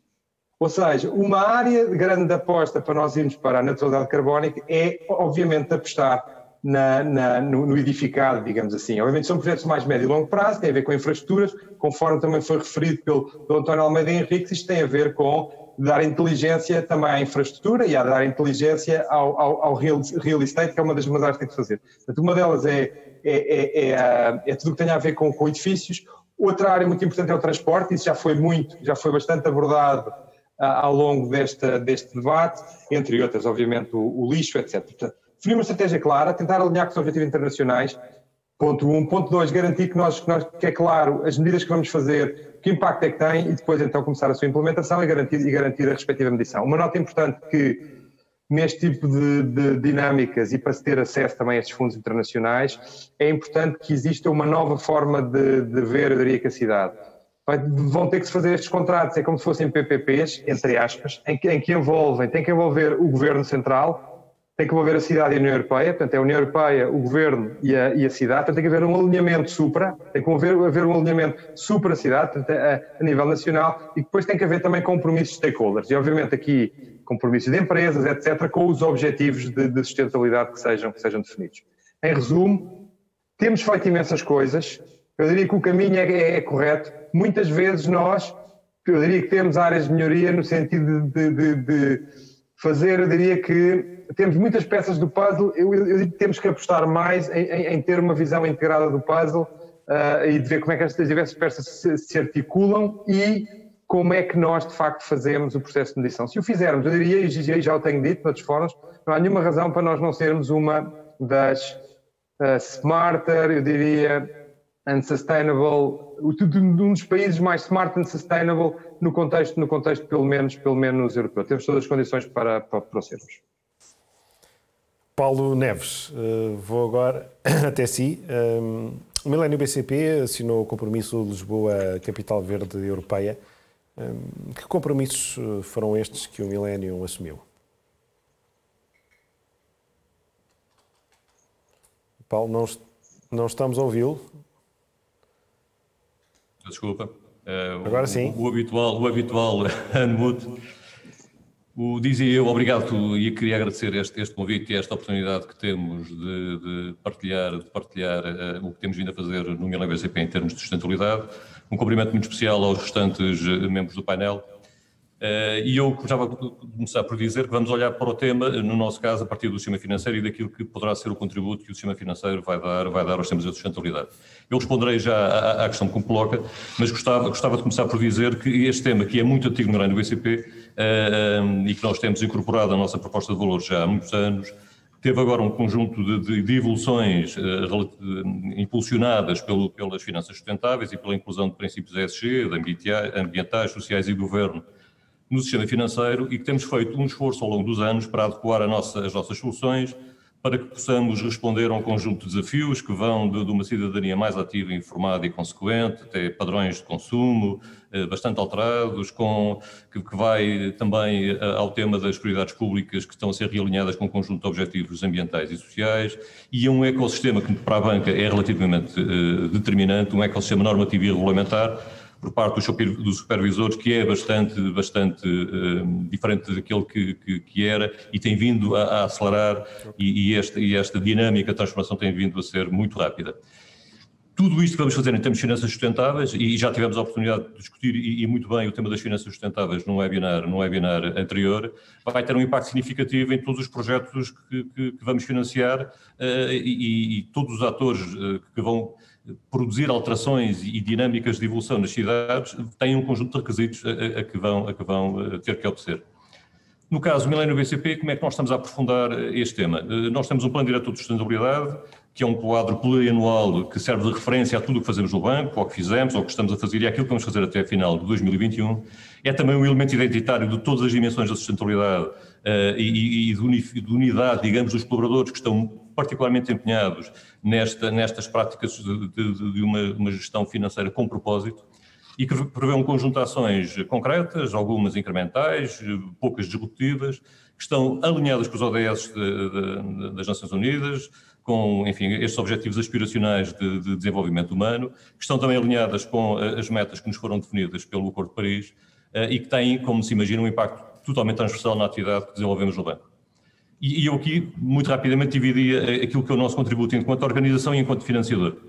Enquanto organização, e agora vou responder àquilo que me questionava, eh, o Milênio BCP, que recordo tem centenas de colaboradores e centenas de espaços eh, em muitas das cidades do país, tem vindo a posicionar-se pelo exemplo eh, e tem uma política ambiental que, com metas e objetivos muito concretos e muito definidos, que monitorizamos e comunicamos regularmente, nos tem permitido reduzir de uma forma muito significativa a pegada ecológica o que também se deve não só às medidas de eficiência energética que temos vindo a implementar, como ao contributo dos colaboradores na gestão muito cuidada que fazem dos, dos uh, consumos discricionários. Numa visão acumulada há cinco anos, eu, eu, eu realço que o banco conseguiu, em Portugal, reduzir 26% do consumo de eletricidade, reduziu 34% do consumo de energia e, e, e em algo que, que, vai deixar o Nuno Lacasta satisfeito, estamos em linha com as metas do roteiro para Nacional para a Neutralidade Carbónica e reduzimos nos últimos cinco anos 35% das nossas emissões de, de gases com efeito de estufa, uh, uh, o, que, enfim, o que nos impulsiona e estimula a tentar fazer mais na próxima década, de, até 2030. E aqui, então, a referência ao, ao COMEL, a uma iniciativa da Câmara Municipal de Lisboa e do BCSD Portugal, aqui aderimos em 2019, e onde nos comprometemos a, a descarbonizar 80% da nossa frota uh, automóvel até, até 2030, mas também a Lisboa Capital Verde, onde estamos com um conjunto significativo de, de iniciativas que vão de, de, de, processos de eficiência energética, substituição total de iluminação, de iluminação do banco por iluminação LED, e um outro que me parece muito estruturante, que é o de aumentar a capacidade de produção de energia renovável do banco. Nós temos já hoje uma central fotovoltaica no Tagus Park, que produz mais de um giga de eletricidade uh, uh, anualmente. Isso corresponde a 8% do consumo total do banco em Portugal e temos com isso, uh, além de, de, de, otimizar os custos de exploração, temos com isso fundamentalmente reduzido a pegada e evitar, evitado a emissão de muitas centenas de toneladas de CO2. Já como financiador, e, e, para terminar esta primeira intervenção, eu chamava a atenção para, para duas grandes alterações que vamos efetuar no âmbito do Plano Diretor de Sustentabilidade, a inclusão de critérios ESG na gestão das políticas de risco, vamos manter o rigor de sempre na nossa análise de, de, de, risco, mas esta análise vai passar a beneficiar de uma maior valorização dos aspectos ambientais e sociais que vão ser incluídas nas matrizes nos modelos de avaliação. E isso vai permitir ao banco perceber muito melhor o impacto dos projetos que financia, e, e, e, grande parte desses projetos, como sabemos, acontecerão em, em contexto, em contexto uh, urbano. E vamos aumentar significativamente a nossa oferta ESG, verde, se quisermos facilitar o, o, o conceito. Uh, nós temos já hoje, uh, enfim, uma oferta abrangente, muito, muitos programas protocolados com públicos, que é que caso, o caso eficiente será um bom exemplo para a eficiência hídrica e energética. Eh, de que o IFRU para a recuperação imobiliária é também um, um exemplo com muita materialidade. A linha de descarbonização e economia circular, temos também um conjunto de produtos próprios, mas vamos, porque temos consciência de que há uma necessidade por parte de, de, dos clientes, por parte das empresas, por parte do, do, dos investidores institucionais de terem mais oferta, aumentar tudo aquilo que, que, que se prende com a ESG nos diferentes segmentos do banco, particulares empresas das diferentes dimensões e institucionais, e vamos, eh, através de uma task force que está neste momento a, a desenvolver o seu trabalho, aumentar significativamente a nossa oferta no âmbito do crédito, do investimento e da poupança e com isso estamos também a criar mecanismos, meios para que os projetos que possam tornar as cidades mais sustentáveis, estou a falar da recuperação imobiliária, estou a falar do tratamento de resíduos e da reciclagem, um tema crítico, estou a falar da mobilidade, das novas descentralidades, tudo isso será... detalhar esses, esses temas muito bem, muito bem. Vamos, Nós eh, seremos parceiros, é, é, no fundo a mensagem que quero deixar. Muito obrigado. Uh, Miguel, aqui o, o, Miguel Eiras Antunes já referiu o tema da informação e dos dados. Uh, é de facto um, um tema-chave uh, para termos cidades mais sustentáveis. Com o avanço da tecnologia, com a inteligência artificial, com o Big Data, o que é que vamos conseguir fazer nas cidades que ainda não fazemos? Muito bem, é um, é um tema crítico, de facto. Esta, esta ideia de, de, inteligência urbana passa muito pela capacidade de nós criarmos valor em cima dos dados que hoje as cidades gerem uh, e, e, geram. Um, e isso implica uh, algumas coisas que também foram aqui referidas, que é a capacidade de os recolher, mas isso remete-nos diretamente para a questão da conectividade digital que referiu o meu querido amigo António Almeida Henriques. Eu tenho o prazer de, de, também acompanhar muita da atividade que é feita na Associação Nacional de Municípios Portugueses, que tem uma secção que o António uh, coordena, que é a secção Municípios Cidades Inteligentes, em que é possível verificar que muitas cidades e vilas portuguesas hoje já têm progressos significativos nesta matéria e, e projetos muito interessantes eh, de construção de inteligência urbana, tirando partido da tecnologia e da capacidade de utilizar os dados para alterar a forma como nós podemos planear a gerir uh, as cidades.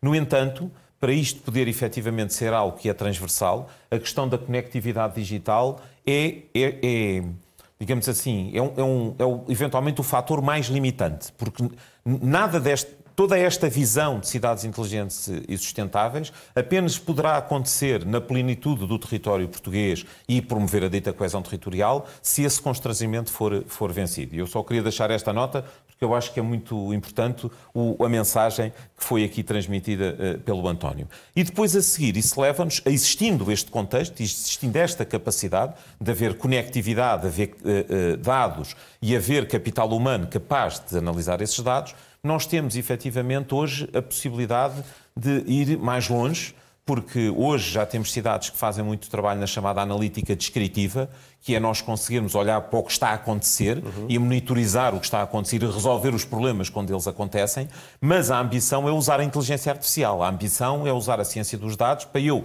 olhar para o que aconteceu e conseguir prever o que é que vai acontecer. E eu, se conseguir prever o que é que vai acontecer, consigo tomar uh, decisões e executar ações que permitem resolver os problemas antes deles chegarem uh, a, a, acontecer. E é muito desse trabalho que vai, já começa a ser feito, uh, que existe uma oportunidade única, e depois aí eu ligava ao que o Miguel Eiras Antunes disse, que é a questão de nós passarmos a ter um bocadinho uh, políticas públicas data-driven, que é, efetivamente, quem governa a cidade, ou quem governa o território, ou então quem governa o país, tomar decisões que são assentes em factos, e este, em dados. E estes dados uh, são relevantes desde a fase do planeamento, é nós termos um conhecimento da realidade que suporta um, um, planeamento mais inteligente, porque muitas vezes assistimos a processos de planeamento que não são enquadrados em factos, em dados, uh, e depois, a seguir, monitorizamos a sua execução e avaliamos os seus resultados. Uh, uh, de forma factual, mais uma vez, recolhendo dados. E esta, esta, esta evolução que nós estamos a assistir, que está a começar a acontecer, tem que acontecer muito mais. Mas para isto tudo acontecer, eu julgo que também era muito importante uh, eventualmente até agora, tirando partido de algumas das coisas que já foram aqui ditas, nós pensarmos neste contexto que agora se está a desenhar de um programa de relançamento da economia pós-pandemia no quadro comunitário de apoio, nós pensarmos em Portugal como é que fazemos aquele exercício que o Miguel Eres Antunes dizia, que era termos aqui uma estratégia e alinharmos estes vários instrumentos que podem estar ao nosso dispor para alavancar a, a, a execução desta ambição. Porque existe uma grande necessidade de investimento, uh, existe uma oportunidade, que são os fundos que aí vêm, mas tem que haver por trás disto um pensamento materializado numa estratégia para nos guiar para os resultados que nós queremos alcançar e isso deveria acontecer nessa lógica de uh, data-driven policy making, que era nós medirmos uhum. e, e tomarmos decisões com base em dados. Em dados. Já temos connosco Nuno Lacasta, Presidente da Agência Portuguesa do Ambiente. Nuno, obrigado por se juntar a nós. Disse numa entrevista uh, recente que há cerca de 6 mil pessoas que morrem anualmente em Portugal devido à poluição do ar e que temos de facto de, de despoluir as emissões uh, dos transportes públicos e dos transportes privados nas, nas cidades. Como é que chegamos aí? Enfim, Vimos durante a pandemia, e isso já foi também mencionado aqui hoje, eh, uma grande quebra que ainda hoje é sentida eh, no trânsito, por exemplo, em Lisboa. Eh, enfim, é, é notório que ainda não voltou aos níveis que existiam antes da pandemia, mas provavelmente quando tivermos uma solução, e que esperemos que seja em breve, para a Covid-19, os velhos hábitos vão voltar. O que é que é preciso fazer para, de facto, resolver este problema das emissões poluentes nas grandes cidades? Boa tarde, obrigado. A referência a 6 mil mortes prematuras em resultado de qualidade do ar menos boa é um número que infelizmente não é de hoje, já tem alguns anos. Ele é apresentado pela Comissão Europeia no âmbito um estudo pan-europeu e foi, aliás, há pouco citado pelo Sr. Presidente da Câmara de Lisboa, que, cuja autarquia tem evidentemente muito presente este número e no centro das, das preocupações. Uh, Portugal tem genericamente uma boa qualidade do ar, que fica absolutamente claro, mas temos ainda situações que nos devem preocupar e, sobretudo, temos que pensar para estas temáticas de forma integrada. Isto é, é evidente que com uma estimativa de cerca de 6 mil mortes prematuras em, em, por doenças respiratórias em função de qualidade do ar, nós temos que a montante eliminar as fontes de poluição que as pessoas ingerem e, consequentemente, estamos a aliviar também de forma muito significativa o Sistema Nacional de Saúde.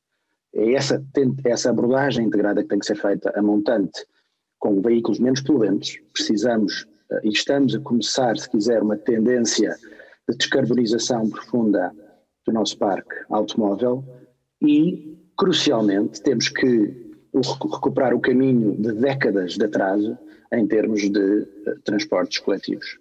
Portugal fez alguns investimentos em termos de transportes coletivos há, há, uma, década e meia ou quase duas décadas, mas ficámos sempre aquém do, do, do nível de investimentos que necessitávamos e, sobretudo, ficámos aquém da gestão integrada das zonas metropolitanas. Só muito recentemente é que começámos com o passe social navegante, no caso da Grande Lisboa, mas também noutras áreas metropolitanas e mesmo cidades médias. O exemplo de Viseu é talvez aquele mais paradigmático no país para lançar mão de medidas que, de apoio aos transportes coletivos, ou seja, descarbonizar a frota, ter mais uh, partilha de veículos, também uma tendência crescente, e apostar definitivamente no transporte coletivo. É isso que nos falta para também nestas áreas da mobilidade atingirmos níveis de primeiro mundo, como já temos na área da água, na área dos resíduos e em tantas áreas desta, da, da área de política de ambiente. Ainda em relação à, à questão das emissões, uh, medidas que foram tomadas noutras cidades, como taxar a entrada de carros nos centros, uh, Portugal também deveria, uh, enfim, nos casos em que isso justifique, avançar nesse sentido.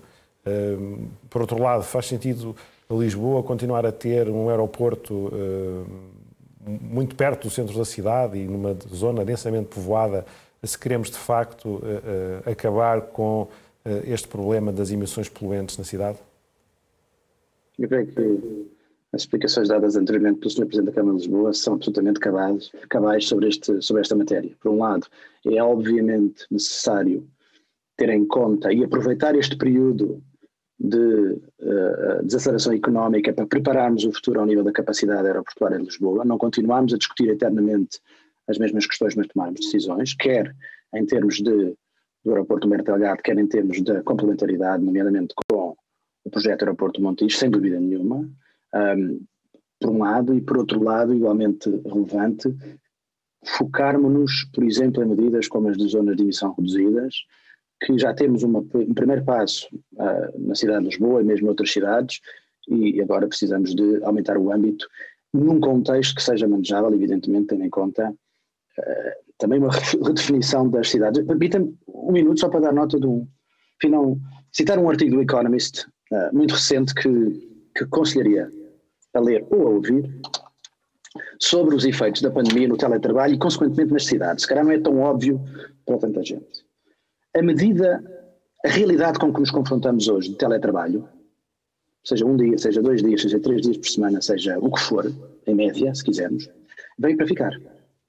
E, nesse sentido, o que nós já estamos a ver é que, ao nível do planeamento das cidades e no imobiliário, as pessoas já estão a pensar como é que vai ser o dia seguinte, ao, do regresso à normalidade. Repito, vamos continuar a ter níveis de teletrabalho, aliás, como medida de gestão de mobilidade, de emissões, de poluição e até de, de, de alguma, de algum uh, rendimento adicional por parte das pessoas, alguma dimensão de teletrabalho, tem uma expressão económica relevante e também de poluição, por um lado, mas por outro lado, o que isto quer dizer é que os centros urbanos que foram historicamente desenhados para edifícios de escritórios vão ser inelutavelmente, vão ter que ser redesenhados para nomeadamente ter em conta usos como sejam até habitacionais. Portanto, o que estamos a verificar é uma tendência que será inelutável de redesenhar centros urbanos e zonas que são de escritórios para voltarem a ter populações e esse movimento é importante, gostava de ver discutido, porque me parece muito persuasivo e muito evidente face ao que temos hoje. Depois, se tiver tempo, eu gostaria de tentar também responder à vossa pergunta, que é como vamos viver em 2030. Tenho aqui, se calhar, dois ou três apontamentos, se me permitirem, gostaria de, enfim, perspectivar um futuro possível.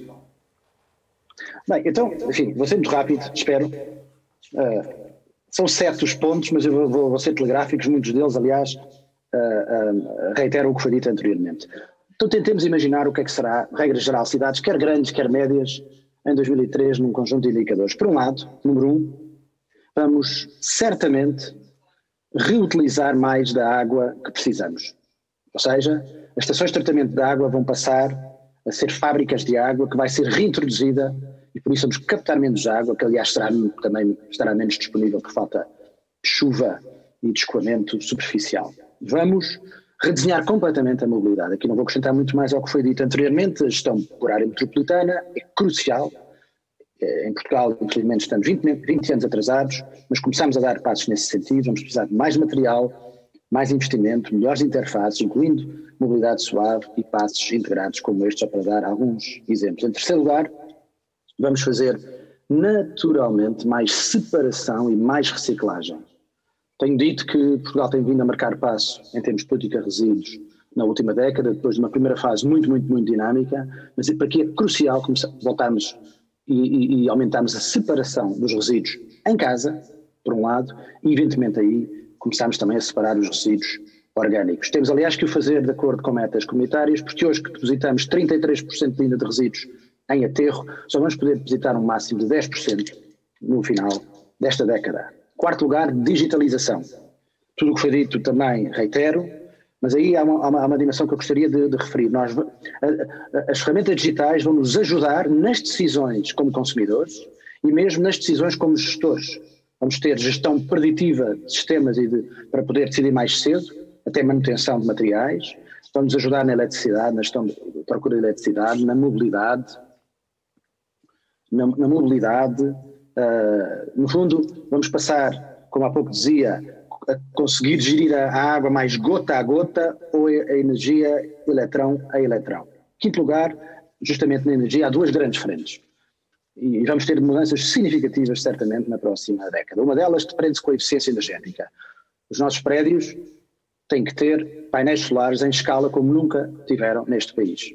Ainda por cima, o preço que hoje se encontra, aqui o papel do financiamento é crucial temos algumas experiências que funcionaram menos bem nos últimos anos e agora precisamos mesmo de uh, ter muito mais painéis solares e água quente solar nos nossos edifícios, mas também temos que trabalhar mais a autoprodução de energia, justamente com esses painéis e, outras, e, outros, e outros sistemas, e consumo. Mais dois pontos rapidamente. Construção. Profundamente mudar as cadeias de valor de construção eh, e no âmbito também da renovação urbana, tem que ser mais circular, temos que, re, temos que reaproveitar materiais e, e reutilizá-los de forma muito mais expressiva. Uh, aí o papel das entidades públicas é relevante no poder de compra que, enfim, que exercem nas cadeias de valor. Temos que aproveitar mais zonas existentes, em vez de estar sempre a reclamar mais território, porque temos que concentrar as zonas urbanas em vez de continuar a expandi-las. Um, ah, e, finalmente, enfim, é um tema também transversal, a questão da adaptação. Os impactos da mudança do clima são severos num país como o nosso, particularmente exposto, e aí temos que redesenhar as cidades mesmo para efeitos de gestão e de prevenção de cheias, um pouco por todo o país isto está a começar a acontecer. Temos que ter muito mais zonas verdes, algumas das quais até servem para fazer atenuar o efeito de cheia, porque vamos ter, se é certo que menos chuva, vamos ter com toda a certeza períodos curtos de chuva muito mais intensa. E vamos ter, finalmente, então, de uh, pensar muito bem no futuro onde construir. Uh, muitas vezes em Portugal constrói-se certos equipamentos em terrenos que às vezes são os mais baratos de todos. Porquê? Porque têm valor zero, uma vez que estavam previamente classificados como terrenos, zonas protegidas ou afins. Não, isto tem que tem que acabar. E aqui um critério importante, que é um critério de recurso natural, que é se são zonas de risco de inundação ou de subida da água do mar, uh, uh, devemos ter aqui muita parcimónia, muita parcimónia na construção de equipamentos e mesmo de uh, outro tipo de construções nestes territórios. Muito obrigado. Obrigado, Nuno, por essa visão do, das cidades em 2030. António Almeida Henriques, não sei se, se, concorda com esta, com esta visão mas uh, queria lhe perguntar se, uh, se acha que, o, que o, quer a visão estratégica que foi apresentada por António Costa e Silva, quer aquilo que já sabe do plano de resiliência e recuperação económica do governo, um, se de facto estão enquadrados com estas tendências e respondem às necessidades das cidades sustentáveis. Antes de mais, há uma, há uma garantia que eu tenho, é que em 2030 mais pessoas vão querer viver em cidades como Viseu. E ouvindo o Nuno Lacasta e nestes sete objetivos que, que aqui traçou são de facto sete grandes preocupações que estão na primeira linha no, no, na, na, estratégia de Viseu. E, e portanto, deixem-me só colocar aqui uma questão que é a seguinte e que já foi aqui abordada. Esta questão da inteligência urbana acaba por ser uma dupla oportunidade. É uma oportunidade de, por um lado, nós podermos fazer as pessoas mais felizes e trabalhar mais para os nossos cidadãos e também para nós gestores podermos ser mais eficazes e aproveitarmos melhor os recursos. Mas também há uma segunda oportunidade que é a fixação de talento. Eh, o, o, o, facto de nós podermos efetivamente fixar eh, mais pessoas, quadros qualificados pelo país fora. A Deloitte está fixado hoje em Viseu, fora das duas, duas grandes áreas metropolitanas, Lisboa e Porto, e seguramente os seus trabalhadores são mais felizes, serão até mais produtivos por viverem numa cidade onde há tempo para, para fazer tudo. E, e as cidades têm que ser pensadas muito nesta lógica. Quando hoje ouço falar hoje, na questão do teletrabalho, o teletrabalho foi de facto uma das grandes descobertas do, do, da pandemia. Eh, assim como fora uma das grandes descobertas foi ver a cidade numa dimensão diferente daquela que habitualmente costumávamos ter. Ora, isto implica outra coisa que até agora se deu pouca importância, é que o planeamento das cidades tem sido muito empírico. Uh, o, o, pouco se tem ligado aos dados que podem ajudar a perspectivar a cidade do futuro. E mesmo os instrumentos de apoio que estão colocados à disposição são instrumentos de apoio em gavetas muito estanques que não permitem uma visão integrada e uma estratégia integrada de uma cidade. Eu, por exemplo, neste quadro comunitário de apoio, tudo aquilo que é Viseu temos vindo a fazer, temos procurado janelas, mas temos muitas dificuldades em encontrar janelas e quando confrontamos as entidades gestoras com a possibilidade de apresentar um projeto para a cidade inteligente, eh, dizem-nos isso não é elegível do ponto de vista daquilo que está. O que significa, por exemplo, os PEDUs, os Planos de Desenvolvimento Urbano, ou os PARUs, têm que ser, sofrer um upgrade e passarem a ser PEDUs e PERUs 4.0 que já permitam esta lógica integrada, porque a questão da mobilidade, a questão dos espaços verdes, a, a reciclagem, a, a, recuperação da água e, a, e, e no âmbito da, economia circular, a, fixação das pessoas e a forma como, por exemplo, em pequenos gestos, as ajudamos a viver melhor. Por exemplo, colocar um parque de gerações ativas ao lado de um parque infantil para que as gerações possam conviver e ao mesmo tempo convidarmos os cidadãos a usufruírem mais do espaço público. A, questão das catástrofes, que agora era falada por Lacasta, é que não é só isso. Por exemplo, nos últimos três anos tive um incêndio de grandes dimensões em 2017, de má memória, aliás, eh, está para fazer três anos, tivemos uma situação de seca extrema que nos obrigou a, a transportar água através de, de, de caminhões cisternas e três tempestades. Portanto, tudo isto está a mudar muito, implica de facto uma gestão integrada.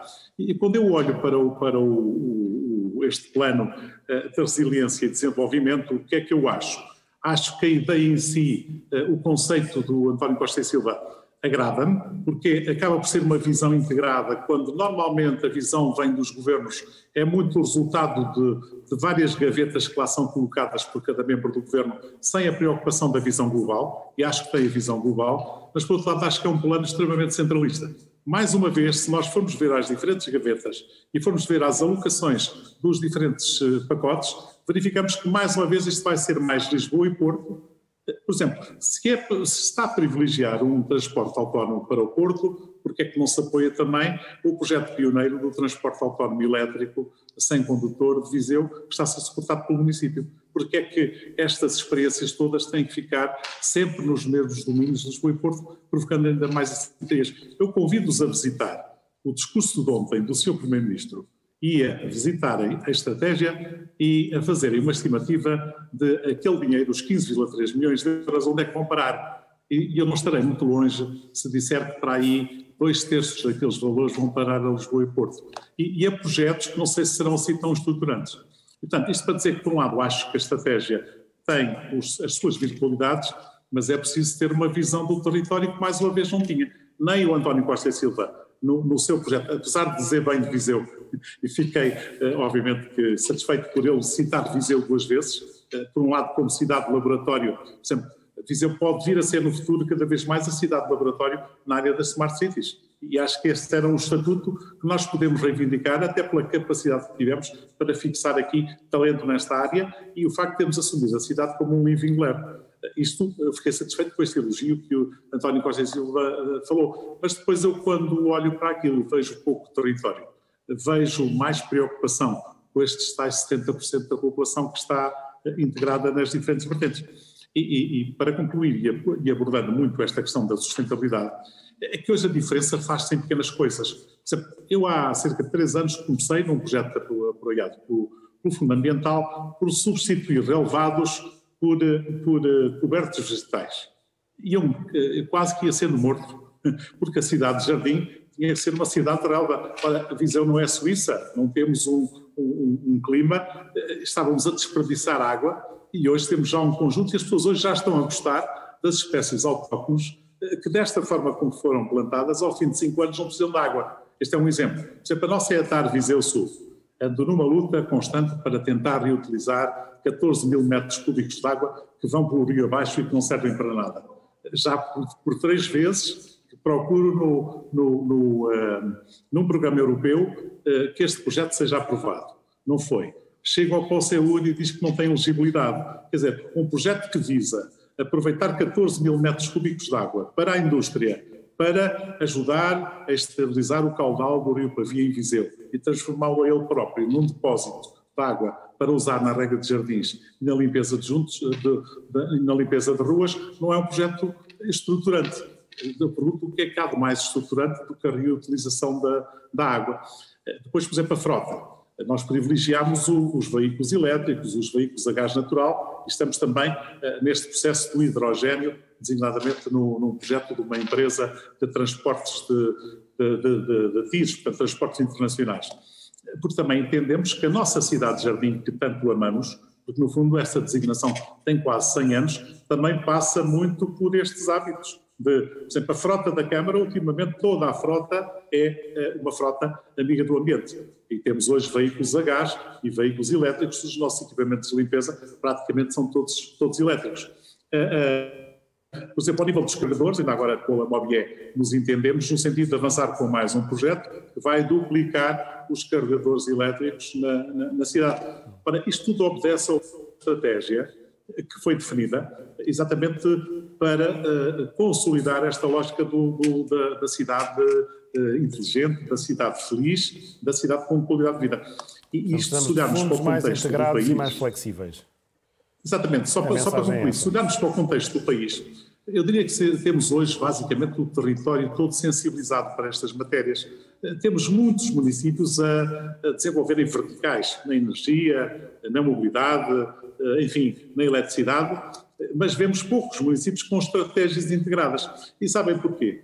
Porque os próprios apoios comunitários não, não estimulam as estratégias integradas, porque as gavetas são tão estanques que é difícil depois encaixar estas estratégias. Por exemplo, uma das mudanças de paradigma neste quadro comunitário de apoio deveria ser a cidade só podia apresentar projetos desde que tivesse previamente apresentado uma estratégia e que esse projeto se enquadrasse na estratégia. Senão, depois temos, abre uma call para escolas e vai tudo atrás das escolas abre uma call para, para, sei lá, a reabilitação urbana e vai tudo atrás da reabilitação urbana, quando muitas vezes se está a fazer coisas que a própria cidade não necessita.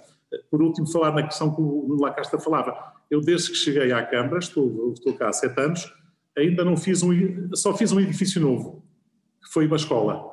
De resto, reabilitei sempre tenho procurado utilizar os tais edifícios que estão muitas vezes espalhados pela cidade e que se querem deitar abaixo para depois voltar a construir, o que é errado, até porque é mais caro e, do ponto de vista ambiental, deixa muito a desejar. Portanto, mensagem final, estratégia, uh, estratégias, uh, digamos que integradas, e, por outro lado, puxar por estas cidades âncoras. Não há territórios que se desenvolvam se não tiverem, por um lado, competências e se não tiverem cidades médias com, com condições porque as pessoas precisam de ter acesso à cultura, ter salas de cinema, ter espaços onde deixem os filhos, precisam ter boas escolas. E isto -se, também se consegue com alguma massa crítica. E, portanto, com, com cidades âncora é mais fácil esbater as assimetrias. E eu gostava de ver isto plasmado uh, no plano de desenvolvimento económico e, e que esta questão da pandemia não seja uma desculpa para se injetarem milhões em mais infraestrutura, mais betão e menos uma lógica integrada de desenvolvimento e de eh, esbatimento das assimetrias do próprio país. Miguel uh, Eiras Antunes, olhando aqui para a visão que o, que o Nuno Lacasta nos deixou, uh, enfim, partilha uh, destes, desta projeção, não sei se quer acrescentar mais alguma coisa, e fazia também a questão se este plano de recuperação e resiliência um, está, de facto, enquadrado com estes desafios que as cidades vão ter. Sim, senhor. Uh, fazendo também aqui um pouco de futurologia e em complemento. Uh, em 2030, primeiro vamos viver mais em cidades, isso está demonstrado. Na Europa, 85% de nós vamos viver em cidades, isso é um facto. Um, o tema da tecnologia e dos dados vai ser, não, não vai ser uma possibilidade, vai ser uma inevitabilidade e numa perspectiva de análise dos factos, mas também de prever, de prever o futuro e atuar com base em dados e em factos. Uh, vamos viver em cidades com mais espaços verdes, uh, muito mais equilibradas do, ponto de vista ambiental, como foi, conforme foi referido, foi referido aqui. Uma nota também é vamos ter cidadãos muito mais comprometidos com, com, com a cidade onde vivem, com o ecossistema urbano onde vivem. Ah, é uma área que em cidades em Portugal já fazem, eu diria a consulta aos cidadãos, o ouvir os cidadãos, já se faz alguma coisa em Portugal, mas há excelentes exemplos que nós podemos seguir eh, de fora e cada vez mais isso vai ser essencial. E isto, o tema do, do engagement do cidadão e dos diversos stakeholders, vai passar a ser no acesso aos fundos, pelo menos neste Climate Neutral City Mission e neste Climate City Contract, vai ser um fator crítico de sucesso, vai ser um dos requisitos. É, um, ter uma estratégia integrada Dois, garantir que nós, é uma estratégia que é feita de forma inclusiva, com, o vertente empresarial, uh, empresarial e, e, e, com as pessoas. Uh, o, Maier vai, vai passar a ser cada vez mais um CEO que tem objetivos e que, tem, e que, tem, e que, e que obviamente depois traz eleições democráticas, mas as pessoas vão, vai, vai haver uma maior exigência, como vai haver mais, mais maior engagement, digamos assim, das, das pessoas, vai haver mais, mais, mais exigência, vai ser uma, uma gestão, obviamente que é pública, mas mais empresarial e mais, mais, próxima da, mais próxima do setor privado. Vamos viver em infraestruturas mais inteligentes, também já foi aqui falado, e mover-nos de forma diferente, a mobilidade vai ser mais suave e mais verde, uh, e, e, muito, e também muito na, na lógica dos, dos, dos, dos 15 minutos de, de, de Paris. Sobre algumas notas também que, que eu que, que, que gostava de dar, que é, uh, eu penso que, e vai, está, estamos a assistir a esta mudança, e é por isso estamos aqui neste debate, e cada vez mais estes debates são importantes sobre o tema da sustentabilidade, está completamente no centro. Nós não devemos ter políticas de sustentabilidade, cada vez menos vamos ter políticas de sustentabilidade, cada vez mais a sustentabilidade vai estar em todas as políticas. Se nós pensarmos no digital, é um pouco é similar ao que aconteceu há 10 anos com o tema do digital. Primeiro havia as estratégias digitais, a partir de certa altura eh, todas as estratégias têm que incorporar a vertente digital e é um pouco aquilo que está a acontecer agora com a sustentabilidade. A sustentabilidade neste momento não é só o tema de ambiente e energia, é totalmente, é totalmente transversal. Não há nenhuma política que nós não devamos fazer ou que não façamos daqui para a frente sem ser em cima de lógicas de, de sustentabilidade. Uma segunda nota também é, se queremos aproveitar os incentivos que vêm da, da União Europeia, uh, temos que demonstrar que de facto estamos a trabalhar numa perspectiva pública ou privada. Cada vez mais isso vai ser um fator, um fator crítico de sucesso e que temos verdadeiros ecossistemas de inovação, de inovação uh, a funcionar. Outra nota relevante é temos que pôr uma maior percentagem dos nossos orçamentos uh, municipais na vertente de inovação e tecnologia, porque senão não é possível, mesmo que hajam incentivos europeus vai, vai ter que haver sempre uma, um misto e, e demonstrável entre incentivos europeus, nacionais e locais. Portanto, tem que haver, eu diria que uma perspectiva de co-investimento. Depois dar aqui uma, uma, última nota, penso que nós temos aqui duas oportunidades efetivas, uma mais relacionada com a sustentabilidade, outra não tanto relacionada com a sustentabilidade, mas tem a ver com o tema do teletrabalho e como, se faz, e como, e como o Nuno falou nisso, eu, eu gostava de, de pegar nesse, nesse tópico que é interessante. Uma primeira, uma primeira oportunidade, obviamente, nós podemos de facto ser uma referência duas coisas. Algumas das nossas cidades, e é aquelas que de facto se, se cheguem mais à frente, digamos assim, algumas das nossas cidades podem ser uh, exemplos à escala, à escala europeia, pelo menos, ou à escala global. Algumas já são, algumas já são, porque já fizeram mais difícil do que muitas vezes é implementaram já muitas coisas, mas têm que pôr uma estratégia em cima disto. E há uma oportunidade única para fazer este posicionamento. Eu penso que o país também tem, ah, e para esse efeito, conforme dizia o António, o António Almeida Henriques, é muito importante clarificar, fazer agendas 2030, onde, onde é que nós queremos chegar e como é que lá vamos chegar e que impacto é que vai ter o, onde nós vamos chegar. Isto, isto vai, vai, passar a ser exigido na União Europeia e Portugal tem, tem, tem condições para ser aquilo que se chama uma Smart and Sustainable Nation uh, e ser vista lá fora também nesta perspectiva. Obviamente que para Portugal ser uma Sustainable Nation tem que ter uma política para as cidades, uma política integrada para as cidades, porque se queremos ter impacto no país a nível da sustentabilidade, não chega se três ou quatro cidades implementarem políticas de sustentabilidade, porque aí vamos atingir 5% ou 3% do objetivo que queiramos a nível nacional. Porque uma política, uma política integrada e depois algumas destas cidades se irão destacar porque implementam mais rápido ou pertencem de facto a estas 100 cidades que vão fazer o tal contrato, contrato a, nível, a, nível, a nível europeu. Isso é uma primeira nota. A oportunidade de ser uma Smart Sustainable e uma segunda nota relacionada com o teletrabalho, é a última, e termino, e termino, e termino com, com, com este tema. Nós, o, o teletrabalho, de facto, eh, vai exigir uma, uma, uma, alguma redefinição do tecido urbano, exatamente pelas razões que falámos, mas há aqui uma oportunidade única que nós temos, que é nós podemos ser, e isto a nível global, a, a nação de onde se trabalha para. Ou seja, nós podemos, work from Portugal para o mundo, nós temos uma oportunidade única para atrair à escala global talento muito qualificado que passa a trabalhar de Portugal para o mundo porque as Googles e as Facebooks, etc., já não os obrigam a trabalhar no país de origem. Eles podem vir para Portugal, criar riqueza em Portugal e depois até, até se basear em Portugal. Ponto 1. Um, esta lógica do Work from Portugal é uma oportunidade única para os nossos filhos que muitas vezes não, não arranjam um emprego em Portugal porque não têm uma média de 15, etc., etc., e, e, e, que, e, que, e, que e, que, desta forma podem continuar a viver junto às suas famílias, e, mas à mesma terem uma carreira internacional. Podem estar baseados em Portugal, mas trabalham para a Google, Estados Unidos, etc. Porquê? Porque já não é obrigatório estarem lá, estarem lá baseados. Eu tenho um exemplo concreto. Tenho uma sobrinha que, que lhe deram a oportunidade de ir, para, de ir para Madrid e ela está, está na fase de ter filhos. É, é, tem imenso a ver com isto. Eh, está na fase de ter filhos. Tenho uma sobrinha que lhe deram uma oportunidade excelente em Madrid ela não podia por causa dos filhos. E então estava, estava à procura de, de, de, de uma mudança ou de, um novo desafio. Acontece que no pós-pandemia, o mesmo empregador vai-lhe dizer que ela podia agarrar neste desafio desde Portugal e ela neste momento está a trabalhar para um país internacional desde Portugal. É um exemplo concreto de um, de uma, de um, de um português que aproveitou esta oportunidade. E nós tivéssemos uma política e uma estratégia para aproveitar esta oportunidade, acho que é uma, uma segunda oportunidade para o nosso país. Ok? E obrigado. Muito bem.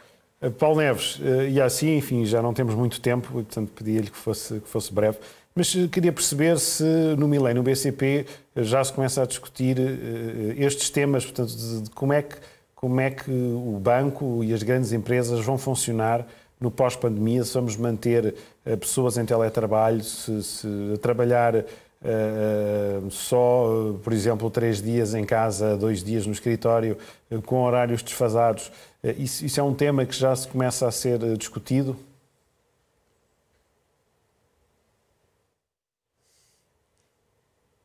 Não, não estamos a ouvi-lo, não estamos a ouvi-lo. Desculpa. A terceira será de vez. Obrigado.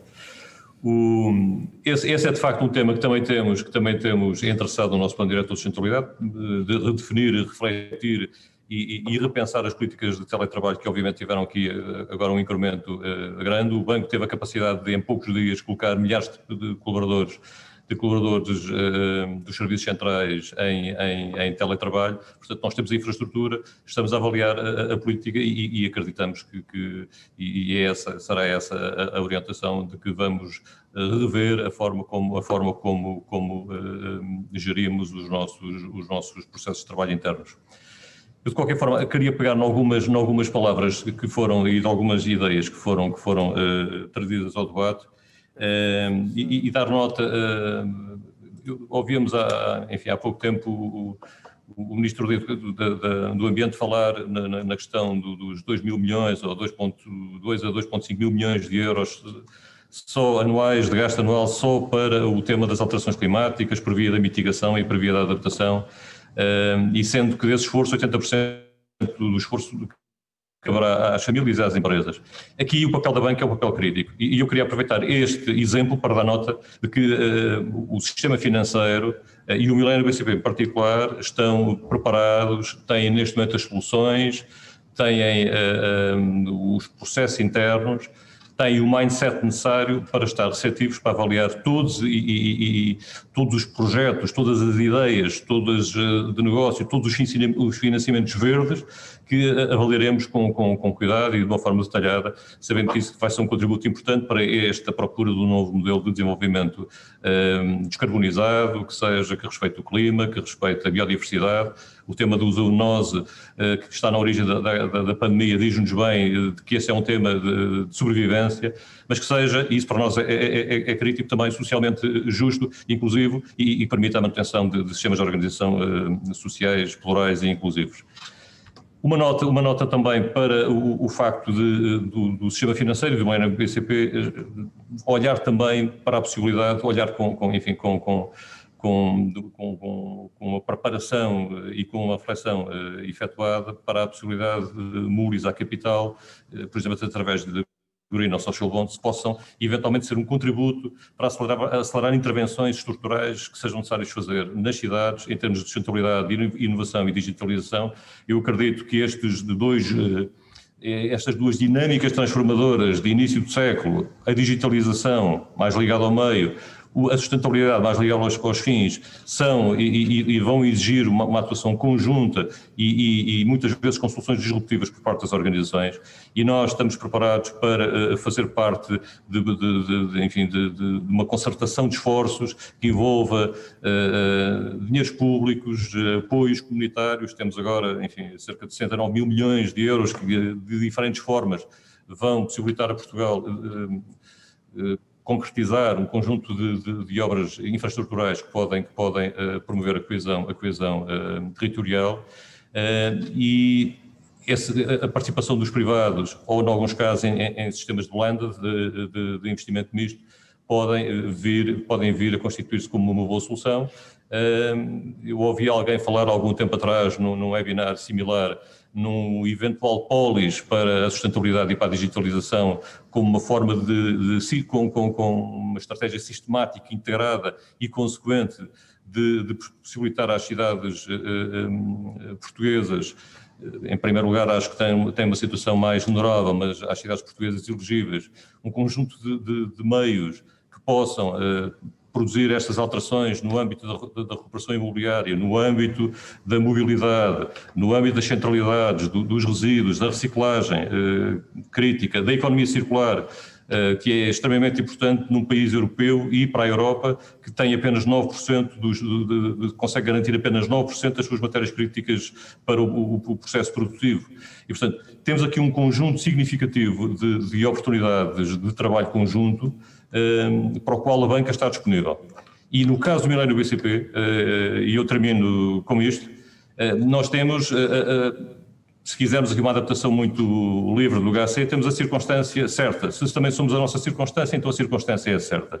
Porque temos a robustez, temos a estratégia, temos gestão, temos liderança, temos colaboradores, oferta, processos, negócio e, e, portanto, temos eh, tudo aquilo que é necessário para podermos ser aqui um protagonista e um catalisador deste, deste movimento que aumenta a qualidade de vida e do bem-estar dos cidadãos, que consiga uh, garantir uh, prosperidade económica, criação de riqueza com, com, com, justa distribuição e num processo virtuoso de, de, de, de enriquecimento económico que seja ambientalmente responsável e socialmente justo.